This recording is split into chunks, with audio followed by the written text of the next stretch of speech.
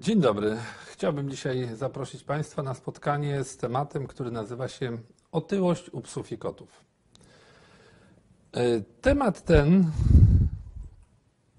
e, temat ten, jak wszyscy wiemy, jest tematem bieżącym, aktualnym, jest tematem ważnym. Jednak z drugiej strony my, lekarze, zdajemy sobie sprawę, że jest to temat, który nie jest do końca właściwie realizowany w gabinetach weterynaryjnych. Dlatego powstał pomysł y, wykładów na temat otyłości.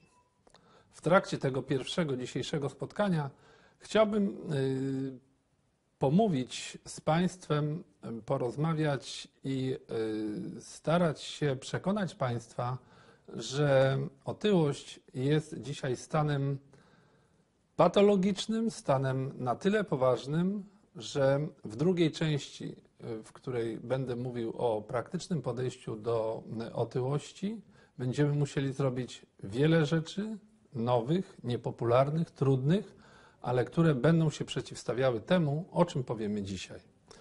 Dlatego z tej propozycji na temat teoretycznego i praktycznego spotkania z otyłością powstały te dwa tematy. Dzisiaj chcę powiedzieć o definicji otyłości, jej epidemiologii i czynnikach ryzyka.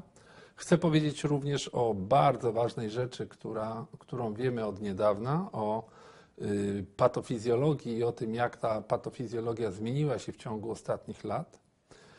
I y, po trzecie, chcę powiedzieć o konsekwencjach zdrowotnych dla psów i kotów wynikających z, y, z naszej rozszerzonej wiedzy na temat patofizjologii.